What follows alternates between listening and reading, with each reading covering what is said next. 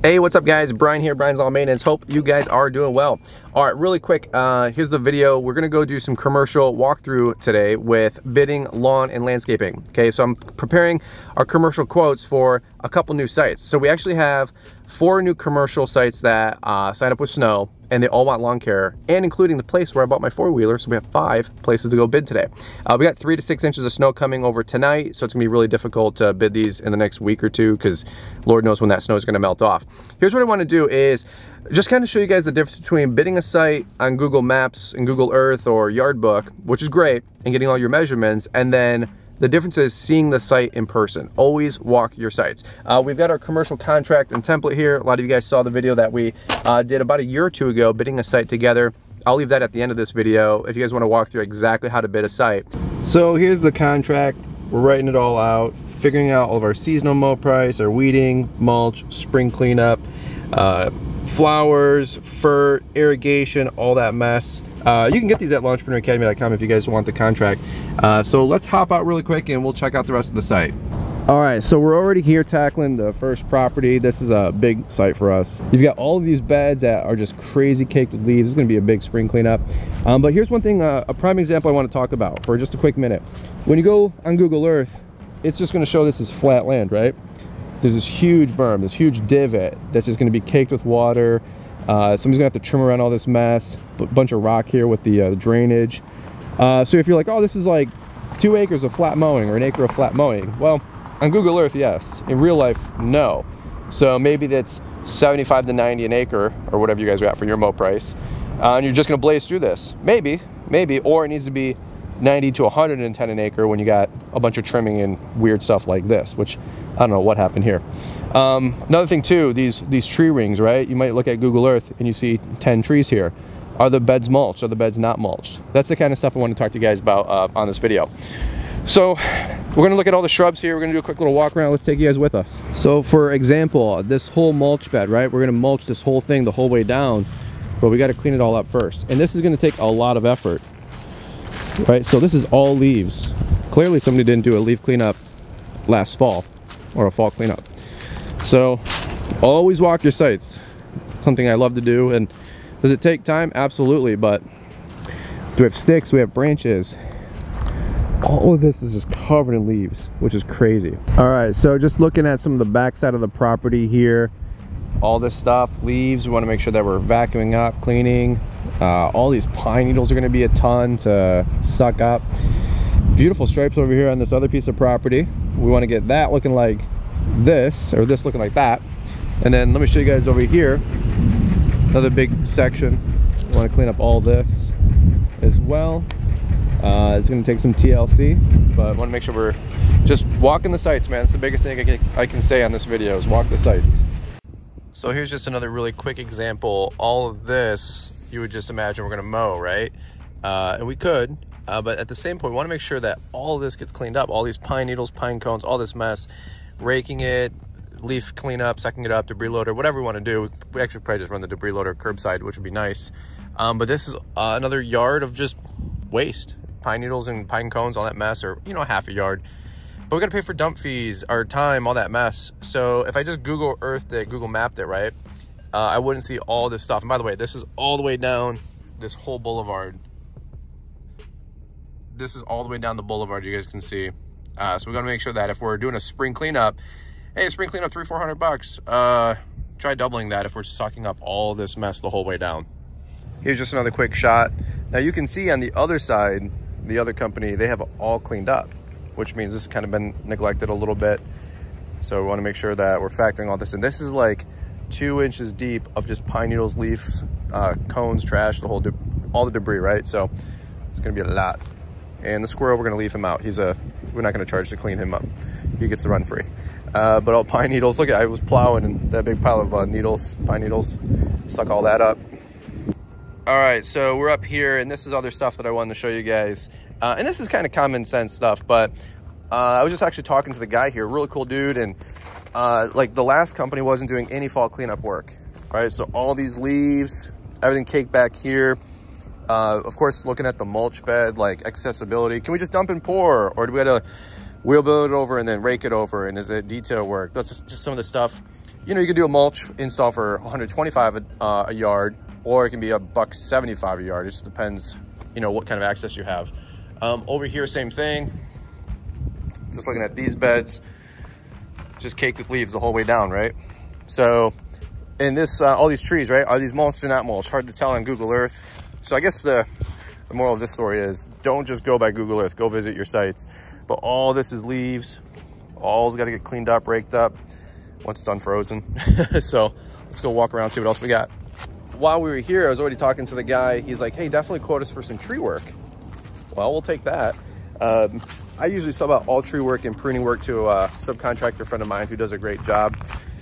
Um, but I'm gonna link them up together and already said, hey, we got a guy solving problems.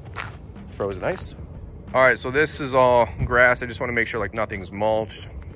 Uh, all this is just gonna be a pain in the butt to do leaf cleanup. I hate this like ground ivy, ground cover stuff. What is this, uh, use or whatnot? Uh, so all this is leaves. You can tell it's just frozen under here. It's all matted. So again, like this leaf cleanup could be three, four, five hundred dollars for a site. And then you start looking around, there's leaves in the whole parking lot, all this. I was telling the guy, like, your leaf cleanup is gonna be two, three acts. He's like, no, we get it. He goes, we're, we're kind of expecting that because the last company didn't do a spring or fall cleanup. All right, guys. Well, I'm back over here at another commercial site and we're putting the quote together a whole mess. At my contractor clipboard, by the way. It got smashed in the back seat. Not so good. Um, so as I'm going through here, uh, just a couple things to look out. I'm to go walk this property with you guys. This is the uh, second commercial site that I'm looking at today. So as I'm looking through this whole site, I'm to take you guys with us. Um, you're just kind of looking out. It's not just like all the turf that we're trying to measure and all the mulch beds we're trying to measure, right? We're trying to also keep an eye on like problem areas and just like extra waste and extra debris. Anyway, let me take you with us. I'm trying to take some notes as I go and uh, let me show you guys this uh, site really quick. All right, so for example, looking at this whole like boulevard, speed bump, that's all grass that's got to get mowed. All this is stuff too, like who's taking care of all this on the back side of the building, right? Looking at the leaves, where can we dump, where can we haul, where do we have to haul away? Out and about, looking at the whole turf area here, just seeing what we got behind the building, right? Don't want anything to be hiding. Uh, leaf cleanup, you know, all this mess. And then as we walk around, you know, there's mulch beds everywhere. We can use our mapping software and tools to uh, tag this all up and see what these beds are gonna measure out. Try not to get the business name over here, but uh, gotta measure all this. And usually do this on uh, Yardbook with their mapping tool. But just want to make sure, like, are these trees mulched or not? It's hard to tell from, you know, Google and all that mess. So another thing too, like we're looking at the parking lot. All this has got to get leaf cleaned up and sucked up and raked up. All these beds got to get pruned out. Just seeing if they've been done before. This little Hellcat. So here's another interesting one. Same thing with commercial properties. Like, is this flat or is this a, uh, a berm? Is it a divot, right? So this whole thing is just gonna take up water in the spring and be hard to mow, which is okay. But on Google Earth, it might just look flat, right? Top down. Uh, but this can kind of vary the pricing and what we wanna charge, right? Just another angle over here, looking at this huge, uh, you know, divot and berm or whatever you call it. All this has got to get cleaned up. So just trying to see what the price to clean up for. Right now, like I said, we're I said this on other videos, at like a buck 75 for two man team for our leaf cleanups per hour. Just looking at this stuff here, making sure that I can get around all that with a mower or if we're trimming, it's gonna take time. Another thing here, just looking at all the mulch beds, what needs to get pruned, how the pruning looks, is it overgrown or not? These are just things I try to look out for. Uh, they got a lot of daylilies here that all gotta get pulled once they're not frozen anymore. See if they wanna get the bed redefined and edged, uh, all the edging around the uh, entrances and whatnot, stick edging, got to factor that all in. Here's another example, right? So this bed, three yards of mulch, you're like, oh, it's just a small bed, but you know, just to do the leaf cleanup, all this mess, three more yards of mulch, you miss this, you're missing out on $300 of retail, $100 at cost, and another 70 in labor, whatever it is. Um, but this is the exact kind of stuff we want to walk around and make sure that we're checking out. Is this an active bed or what do they want to do here? Obviously, they probably want this mulch remulched. So this is a prime example of walking through a property and making sure you're taking notes on everything, right? Uh, there's no right or wrong answer as you go through these bids and, you know, the, the right answer is make sure you do it profitably. Uh, on our contract, I don't know if you guys can see, you can get them at lawntrepreneuracademy.com. It's 50 bucks for a template. Um, if you guys are bidding commercial work, super popular uh, template. Um, but you know, for mowing, we're at 75 to 90 an acre. Uh, weeding for my landscape beds about $75 an hour. Uh, mulch install, we're probably at 125 uh, a yard installed, including labor this year. Spring cleanup, like I said uh, earlier, 175 an hour for uh, two guys, so per hour. Um, same with fall cleanup. Flowers, no flowers here. Uh, flats of flowers. I'm not really good at flower uh, prices. What are you guys flower prices? Let me know in the comments. And then fertilizing, I got to catch up with Bedell because fertilizing is uh, a lot of it, it's up 20 or 30% this year. And then irrigation startups and blowouts, um, about 125, 145 bucks typically. Uh, and then Bedell charges me about 100 to do those, whatever. A little bit of um, markup on that. For mowing, like I, I think I said earlier, about 75 to 90 an hour is what I'm, I'm sorry, 75 to 90 an acre is what we're trying to get.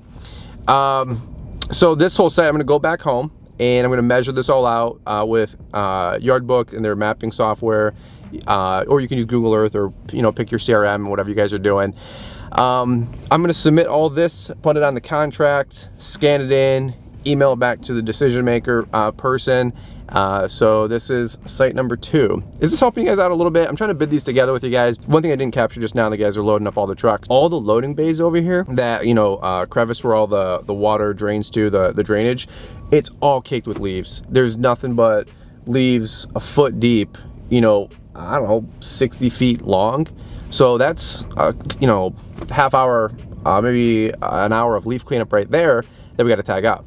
So those are all things you want to keep in mind as you're tagging up these sites and you're like, oh, spring cleanup, 350 bucks, 575 bucks, whatever. But look around. Are you going to be sucking up a bunch of wet leaves out of a drain system? uh, if so, make sure you charge for that because it's going to be a pain in the butt. Plus, this is a big commercial site, a lot of trucks in and out, right? So, all right, this is helping you guys out. If so, a big thumbs up. I super appreciate the love. And uh, that's what I'm doing on my uh, very productive Thursday afternoon.